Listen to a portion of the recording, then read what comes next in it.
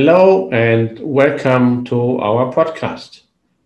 My name is Professor Dr. Wolfgang Georg Arlt. I'm the CEO of COTRI, China Outbound Tourism Research Institute.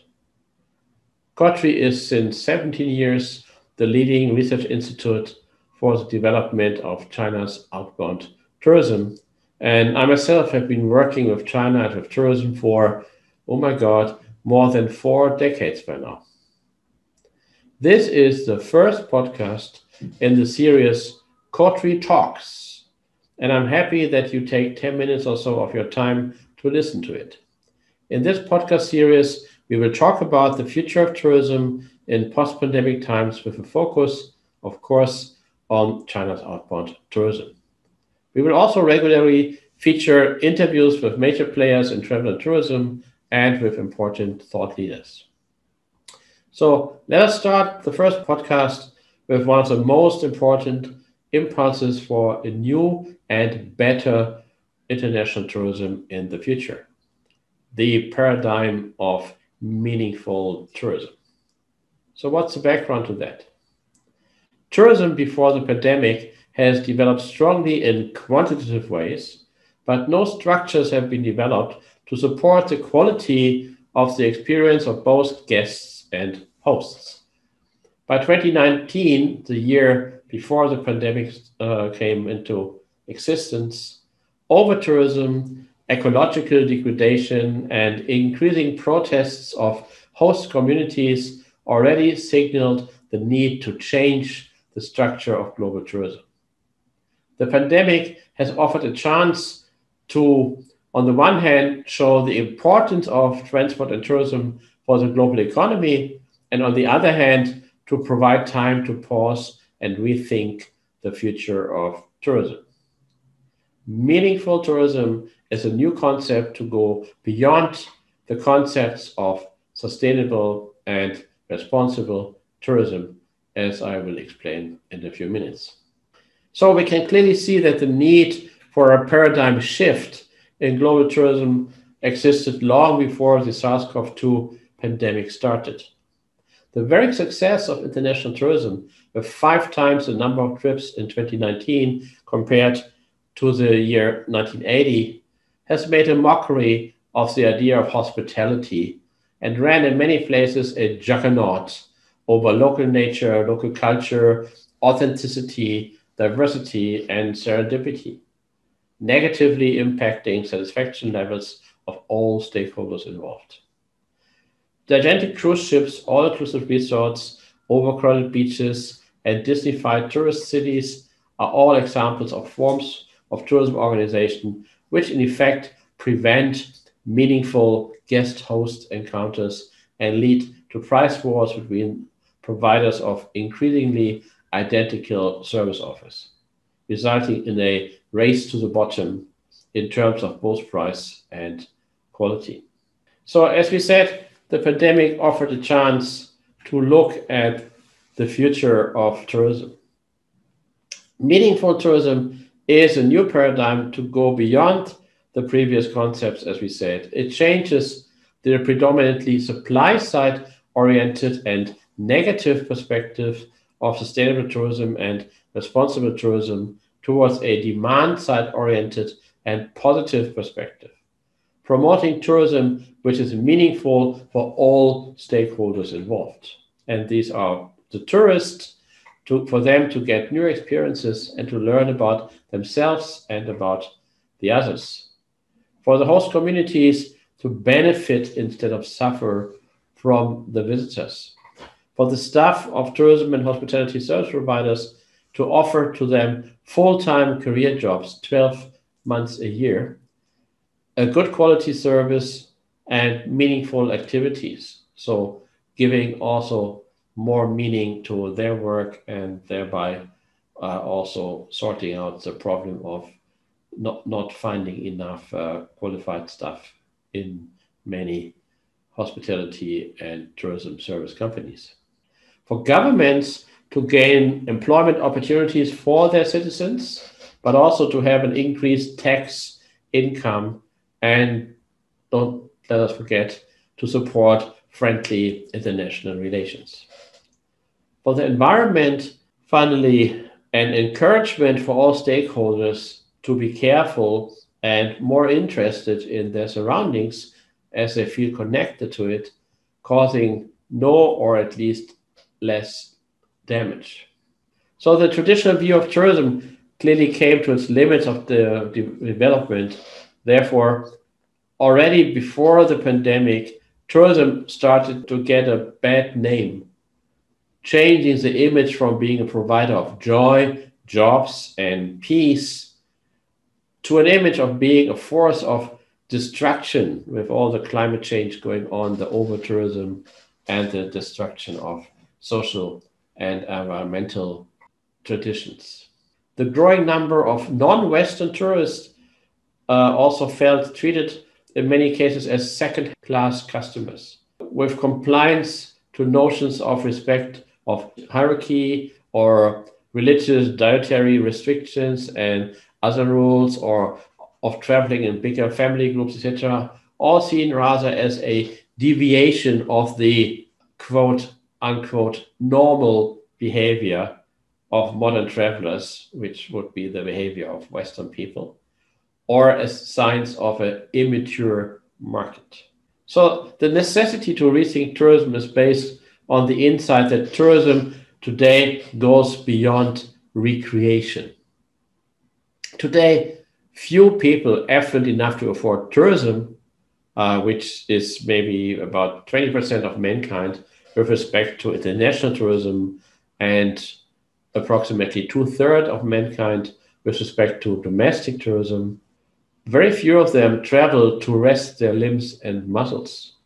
Instead, travel is done for increasingly diverse and often mixed purposes, including, for example, digital nomads, combining online work and travel, uh, visiting friends and relatives, business and MICE, religion, culture, education, health, special interests, having second homes, and many more, creating a whole universe of unforced mobility motivations.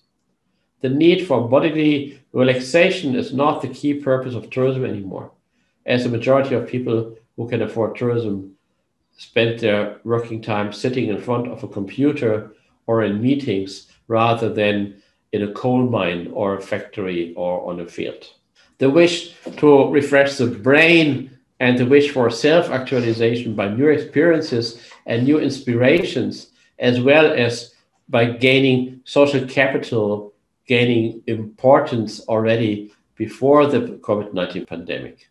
However, the sudden experience of the fragility of life and the possibility of a shattering of the perceived stability of personal circumstances, regardless of personal wealth, has led to a new enforcement of the criticism of shallow consumerism and the forms of tourism which are called 3B, beach, beer, boredom, or 3S, sea, sun, and sex, or in the Chinese variation, sightseeing, shopping, and selfies so thereby further increasing the demand for meaningful tourism beyond simple recreation and sightseeing. So with the growth of domestic and especially international tourism after the Second World War, concerns about the economic, social, and especially ecological consequences of mass tourism started to be discussed uh, with the Swiss scientist Claude Kaspar calling for what he termed environmental ecology as a new dimension of tourism debate. Another Swiss researcher, Jost Krippendorf, argued in his publication Ferienmenschen, so holiday people, in 1984, for a new form of tourism which recreates a harmony between nature and tourists. What follows was first the development of the concept of sustainability and sustainable tourism. And 10 years ago, uh, this was enlarged to a concept of responsible tourism uh, with the Professor Harold Goodwin as the most prominent proponent.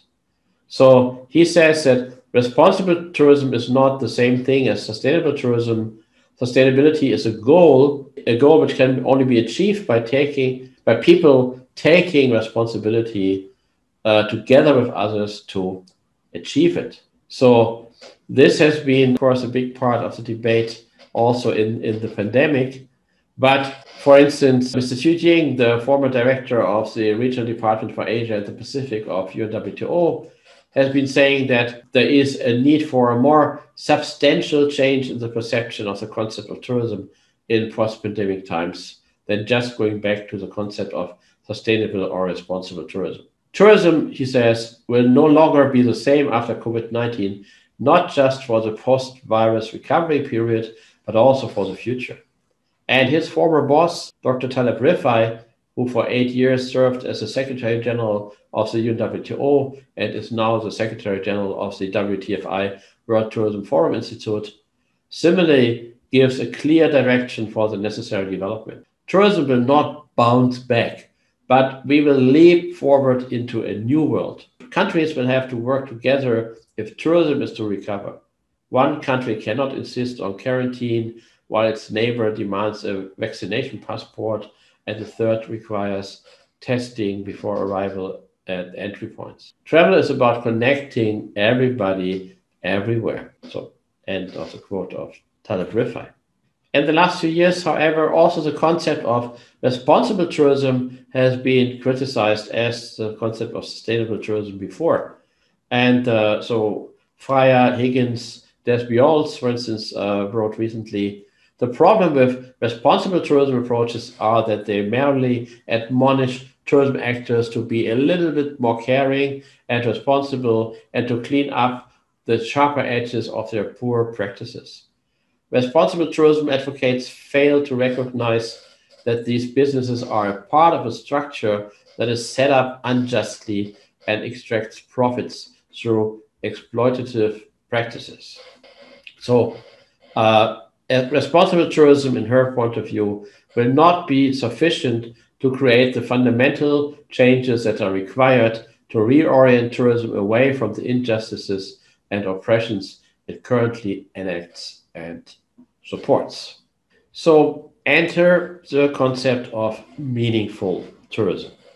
Some organizations already in the past discussed the concept of more meaningful travel as a form of volunteering or as a way for individual globetrotters to add meaning to their travels by traveling responsible and by interacting with the local. And Airbnb declared in its uh, 2021 annual report 2021 will be the year of meaningful travel, defining meaningful travel as a travel which creates meaningful memories. However, the concept of meaningful tourism goes further than that. It is a new approach which may supersede the concepts of sustainable and responsible tourism in the new era of post pandemic tourism. Going back to the original five criteria of uh, sustainable tourism, which were developed by INSKEEP already in 1991, the aspects of visitor satisfaction, and global justice and equity are given more importance, as is the question of the influence of local communities in the development of destinations. It also includes the new concept of business management, which put a price tag onto the cost of negative developments in the society and of environmental degradation, including it in the balance sheet of both companies and national economies. Meaningful tourism also reflects uh, demographic changes with regard to the global age structure of travelers, with international travelers especially increasingly belonging to the age cohort of 50 plus years. And it also acknowledges the fact that both travelers and service providers in international tourism, hospitality, and aviation no longer predominantly belong to North American or European cultural backgrounds.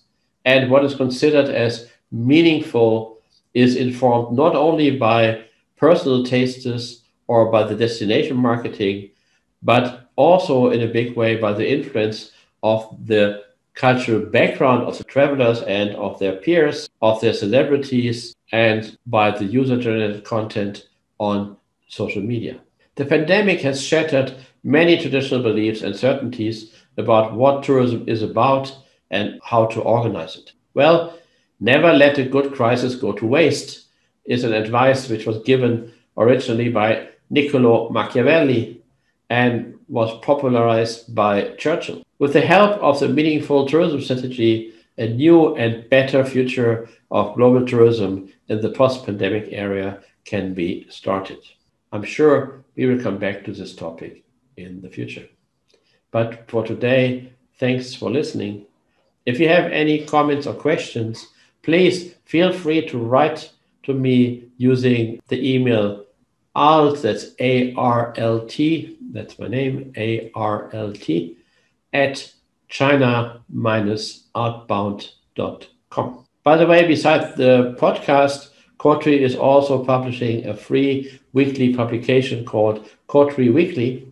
For your free subscription, please visit our website www.china-outbound.com. For today, all best wishes to you wherever you are, and I hope to hear from you, and I hope that you will listen to some of our future podcasts.